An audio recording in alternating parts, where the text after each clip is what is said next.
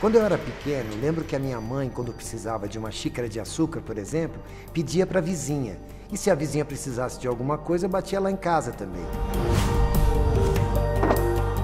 Hoje, com a correria nas grandes cidades e a tecnologia, algumas dessas relações se perderam. Pensando nisso que a Camila Carvalho criou um jeito inovador de reaproximar as pessoas. Açúcar começou como um aplicativo que facilita empréstimo de objetos entre vizinhos.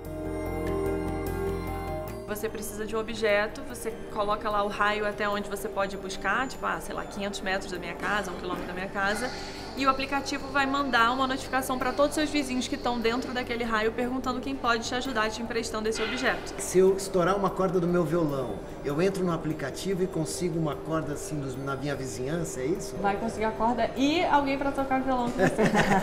e aí de repente você começa a ter uma, uma desculpa para você quebrar o gelo e perguntar quem é você, vizinho, de onde você vem, o que, você faz, o que, que você gosta, sabe? Só que aí as pessoas começaram a usar o Tem Açúcar para muito mais do que isso. Tem gente que viajou e pediu para os vizinhos regarem a horta. A gente começou a ver que isso podia ser muito mais do que só uma plataforma que facilita empréstimo, poder ser uma plataforma que gera uma rede de colaboração local mesmo.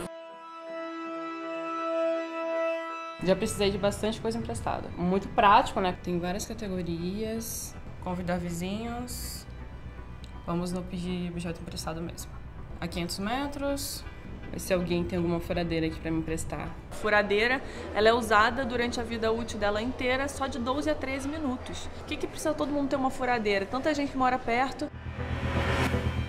25% dos gastos domésticos e 30% do lixo doméstico produzido poderiam ser evitados se a gente compartilhasse coisas ao invés de comprar. Imagina você cortar em um quarto todo o gasto que você tem na sua casa e um terço todo o lixo que você tem na sua casa simplesmente compartilhando coisas assim. É um impacto muito grande. Ele é muito baseado no que a gente chama de gift economy e que em português seria talvez a economia da dádiva ou a economia da gratidão, que é baseado numa ajuda incondicional.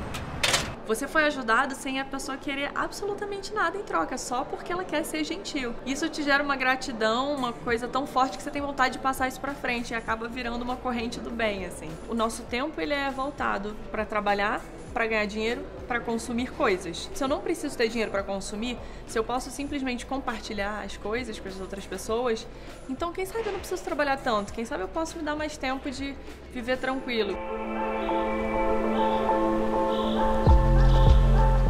Gastando sua vida preciosa, o pôr do sol que você podia estar tá vendo. Se você tem uma forma de graça de ter acesso aos recursos que você precisa quando você precisa, então você já economiza muito tempo. O Tem Açúcar tem uma fórmula especialmente interessante.